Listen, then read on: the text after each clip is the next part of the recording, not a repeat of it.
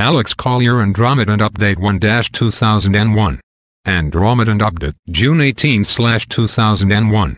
Q. We are going to hit you with the big one we have been discussing a lot about Alex. I don't know if the Andromedans have given you any information about it, but we are wondering about your take on chemtrails and what that's all about. AC. I actually have no information from the Andromedans about that at all. I have not really had a chance to talk to them about it.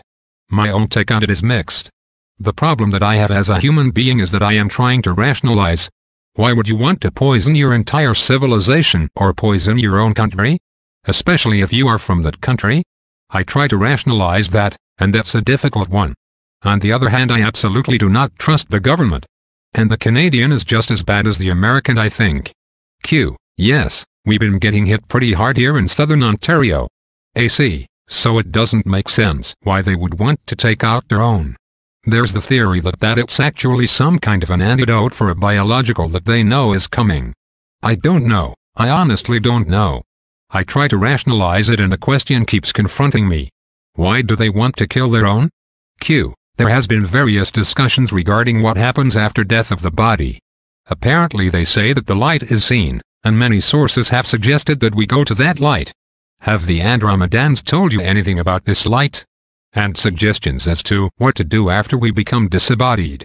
AC, as a matter of a fact that was one of the very first questions I asked as a kid about that. And significantly I had asked about it a lot after my mom had died. According to the Andromedans, what we know as the Van Allen belt in a higher frequency is basically a place where the souls go to be reprocessed. Now let's me explain that first before I tell you what they said we should do. Yes there is a tunnel of light, and essentially the souls that are on the earth are constantly being brought back. They're kind of being recycled. Now I realize that sounds a bit wacky, but the reality of it is, those souls that we know as ourselves are essentially being used to animate the body. It is the body that they are really interested in. But they themselves cannot animate the body. Only we can animate the body, you know the soul. So basically what they do is they shoot us back down into the bodies. It would be similar to bleaching, they erase our memories before we come in. And essentially I do not know the process on how they do that. But that is how they compared it to, and that is bleaching. They basically hit us with so much of a low frequency, that it erases much of our genetic memory. Q. Sort of like reformatting a hard drive almost. AC. Exactly. Now what they said we should do, the Andromedan perspective is that instead of going up into the hole, what we all should do is turn around and look behind us. Because according to them if we could do that we would not be recycled and we could literally take ourselves out of the Earth's reincarnational cycle. And we could see the entire universe, and we could go anywhere we wanted to go. Now the soul can travel anywhere in an instant. Their impression is, as if we did that as souls, we would instinctively know exactly where to go because that's where we came from. To add to that in their situation, where the soul passes over and comes back, where the soul comes back and reincarnates back into their physical form, it's a matter of choice.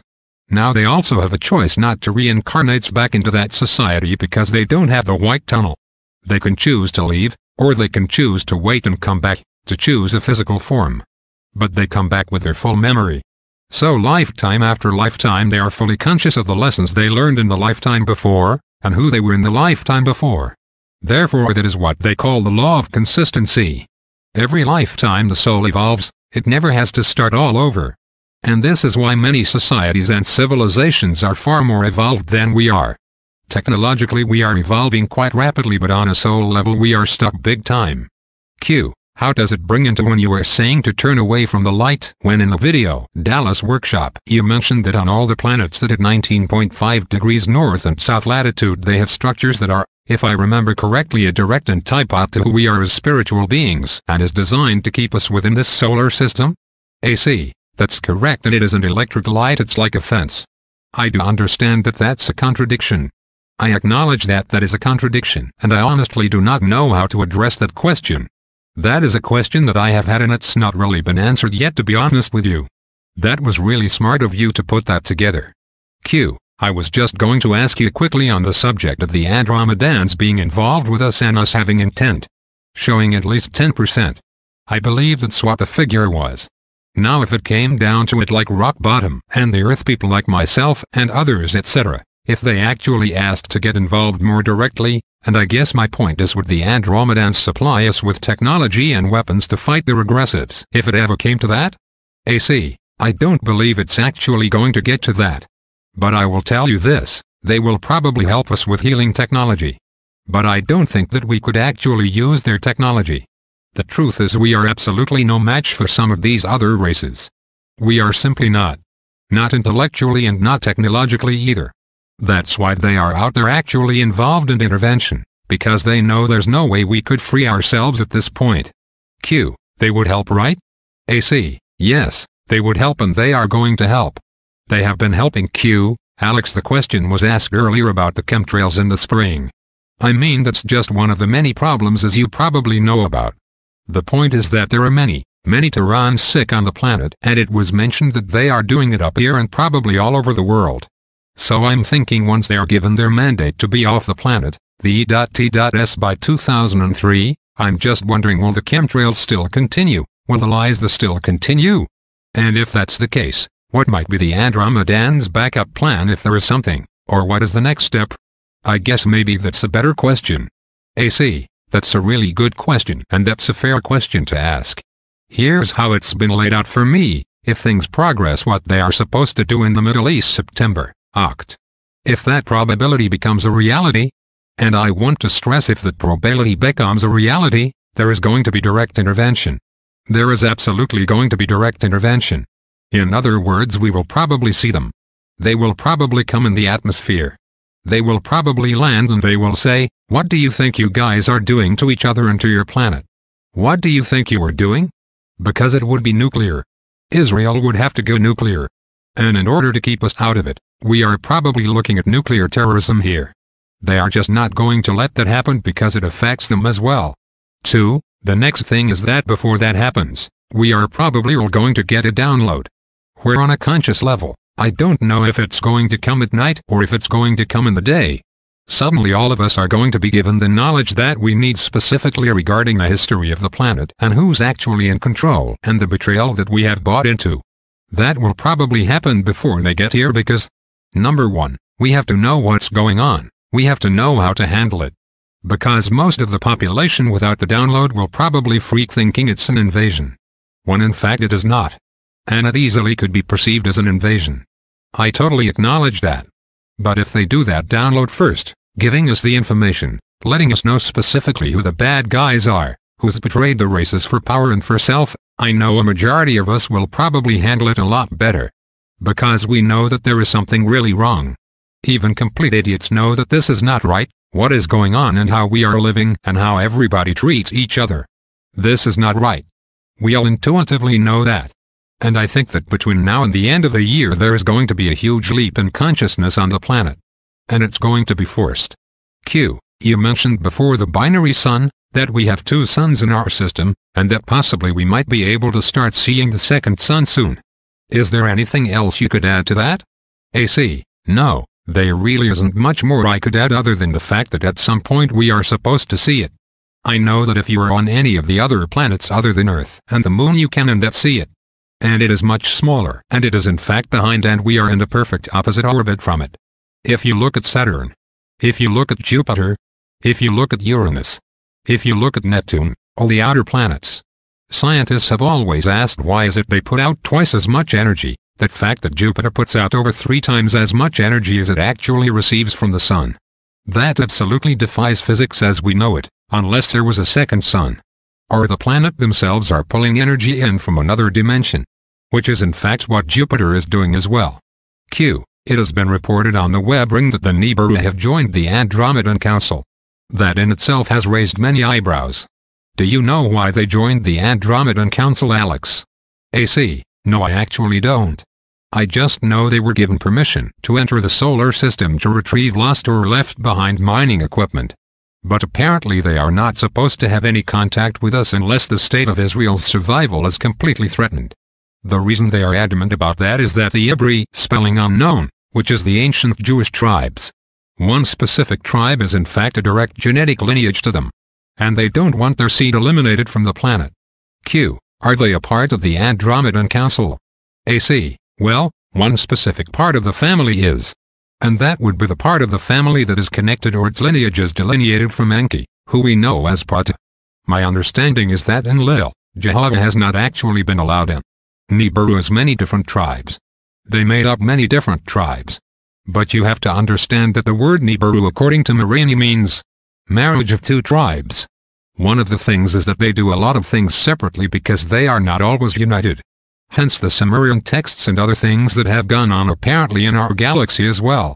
They tell us that the families didn't always get along with each other. And this is absolutely the case. It is still very much going on.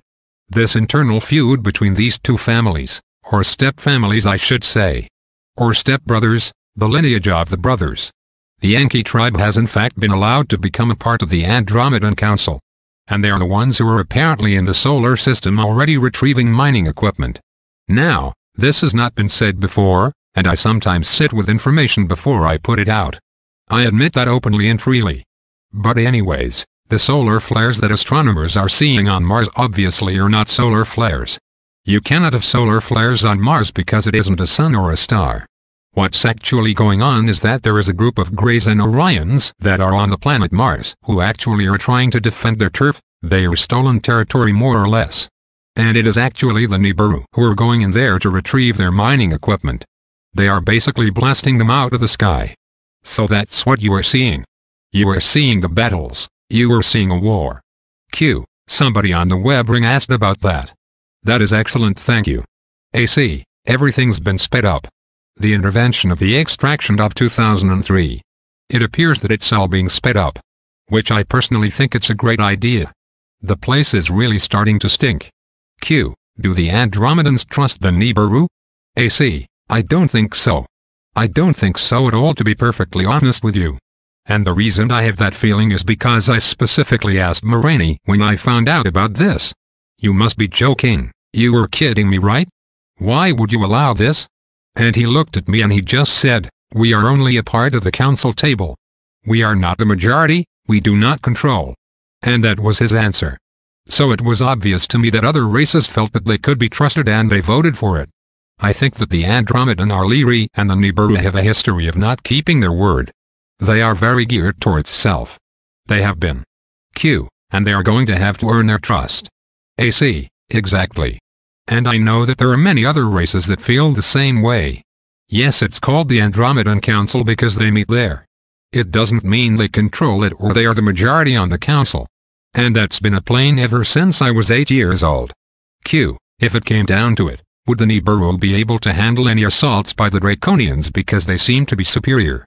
And also could you please talk about the DNA activation? AC, the first question, no I don't think so.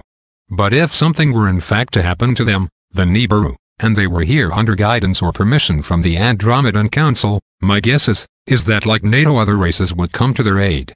Because the point is not only to free this particular solar system, but 21 other solar systems that are having very much the same problem with the same bunch of assholes. That's how I feel about them.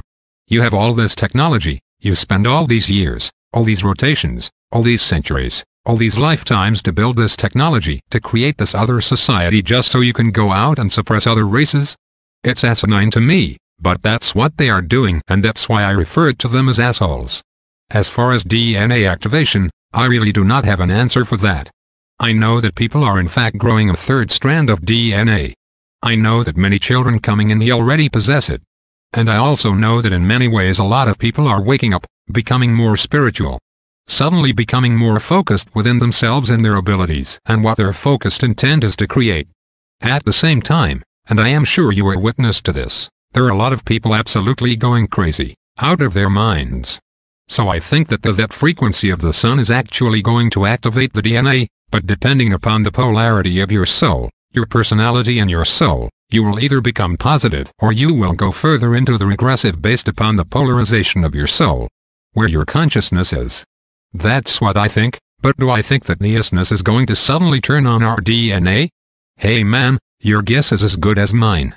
Are the Andromedan going to do it? I don't think so.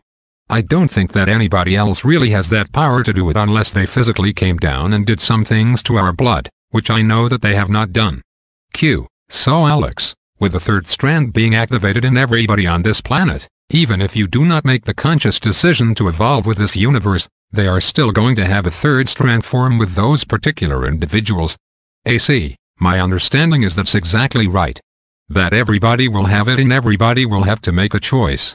But again it will come down to the polarity of their personality. There's probably 25 to 30% of us who will look at a glass and say that glass is half full, and then there is 70% of the population who will look at that same glass who will get all pissed off and say that it is half empty. I am just using that as an analogy. Q. Are there any books or sources of information that the Andromedans has suggested to you that would be beneficial in helping us understand ourselves, our place in this universe, and I hate to say it, but something to act as a guide in understanding as to who we are? Any particular books or sources of information that they have ever pointed out to you here on Earth? AC, no, none. Because Vissaeus has always stressed what you're looking for you already are. The problem is we are turning our focus outside and then looking back at ourselves as opposed to going inside of us, and then looking out from within. Q. So we should radiate instead of becoming magnetic. AC. Exactly because like minds attract. And if you become who you want to be, and you will be the thing, and at the same time you will attract other people like you who are exactly the same way. Q. Just like everybody in this room today. AC. Bingo thank you very much Alex.